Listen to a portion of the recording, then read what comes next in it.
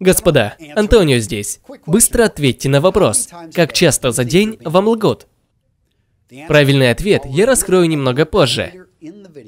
Это видео основано на исследованиях доктора Геральда. Какое краткое имя. Но недавно он опубликовал информацию по этому поводу.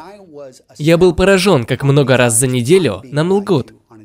Конечно, это приблизительное число. Если вы тот, кто общается со множеством людей, число будет выше. А кто ни с кем не разговаривает, довольно мало.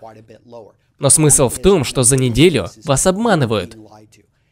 В этом видео я дам вам три совета, лучше и точнее определять, если кто-то вам лжет. В большинстве случаев шансов у нас 50 на 50 заметить это. Как подбросить монетку, человек лжет или нет. Господа, с этими тремя советами вы сможете, так сказать, повысить возможность до 90%. И если вы хотите больше информации, как всегда в статье вот здесь, вы найдете больше деталей. Также дам несколько рекомендаций. И снова, там вы найдете намного больше деталей, которые вы сможете применить в своей жизни. Первая ступень, чтобы научиться понимать, что кто-то лжет. Установите базовый уровень. Что я имею в виду? Базовый уровень – это просто как человек обычно себя ведет при обычном разговоре, а также, когда он взволнован. Вам нужно понаблюдать за человеком, за его физиологическими реакциями просто в обычном разговоре. Посмотрите на его лицо, голову, как движется, на направление торса, на ноги. Наблюдайте за всеми движениями тела, когда он просто разговаривает. Так как я. Использует ли он свои руки, кивает ли головой, когда он с вами согласен. Будьте наблюдательны. Обращайте внимание на язык тела, и тогда вы запомните реакцию этого человека в норме.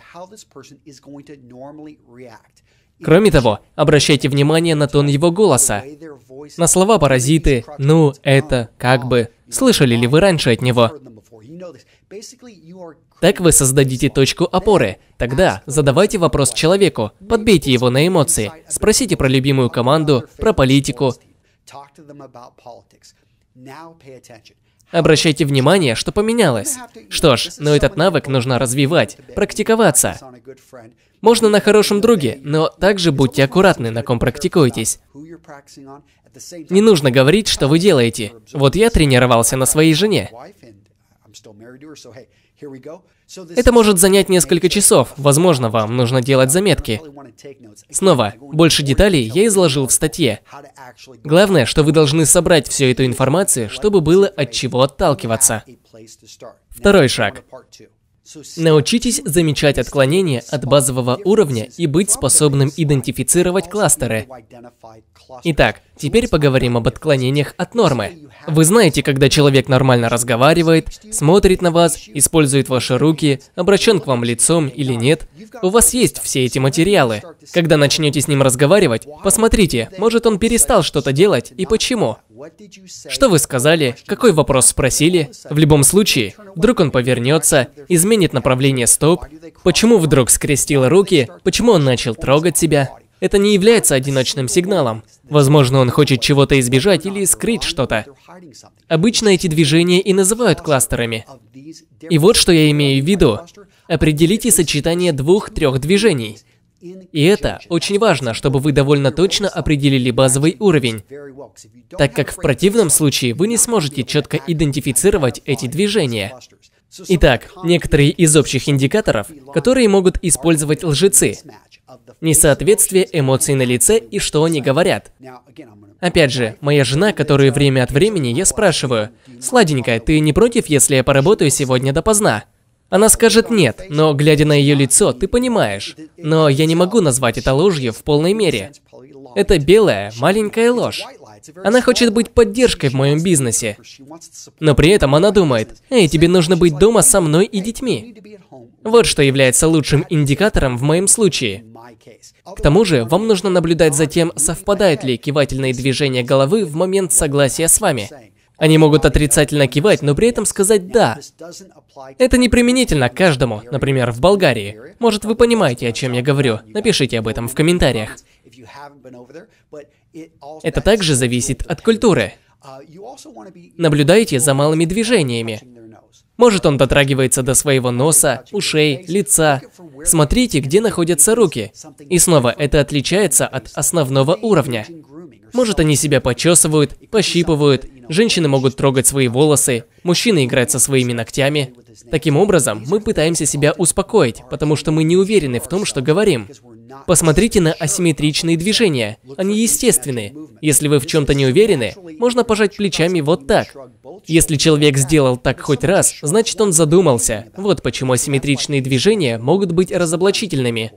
Наконец, отмечайте паузу перед ответом. Если они обычно держат паузу, снова обратитесь к первому пункту. Но если обычно они отвечают достаточно быстро, но по некоторым причинам они начинают держать паузу, накидывать слова-паразиты, это может быть красный флаг. Наконец, перейдем к третьей части. Копайте глубже. Если вы заметили некоторые кластеры, отличия от обычного поведения, теперь вам нужно задать вопрос. Насколько это важно? Ладно, вам лгут 200 раз на дню. Вот сколько. Вы сняли в исследовании. Так что вам нужно научиться определять, к сожалению, в том числе, это тот, кто вам близок, кого вы любите. Вам нужно это заметить и выбрать свою стратегию. Если вы собрались выиграть бой, вам нужно следовать трем вещам. Пытайтесь, и вы сможете это распознать и копать глубже. Первое. Задавайте открытые вопросы. Вы можете спросить, где он был. Человек будет рассказывать историю, а вы попутно задавайте открытые вопросы. Зачастую человек, выдумавший эту историю, будет путаться. Второе, что вы можете сделать, попросите начать рассказать середины истории. И он задержался и на обеде, и опоздал на 30 минут. Так что случилось? Третье. Задайте неожиданный вопрос. Когда кто-то будет рассказывать, как он пообедал и выехал, остановите его и спросите, чем ты обедал? Или ты ел красное или зеленое яблоко? Это заставит его выйти из колеи, и таким образом вы копаете глубже. Как я уже говорил, вы не можете быть уверенными на 100%. И в конце этого дня, господа, вы сможете принимать более обдуманные решения в ваших делах. Вспоминайте все советы, копайте глубже, потому что наука – это великая вещь. И по многим причинам это может быть нелегко. Но вам нужно научиться распознавать ложь, когда это действительно важно. Ладно, друзья, снова, если вы хотите знать больше, переходите на статью. Вдобавок, если вам интересен такого рода материал, научно обоснованный материал об имидже, выступлениях, вам будет интересна моя персональная система обучения. Мы запустили ее снова. Мы собираем каждый месяц класс. Мы обсуждаем не только одежду, но еще и личные навыки, этикет, презентации, язык тела, все, что вы можете использовать, чтобы стать лучше. На этом все, друзья. Увидимся в следующем видео. Берегите себя. Пока.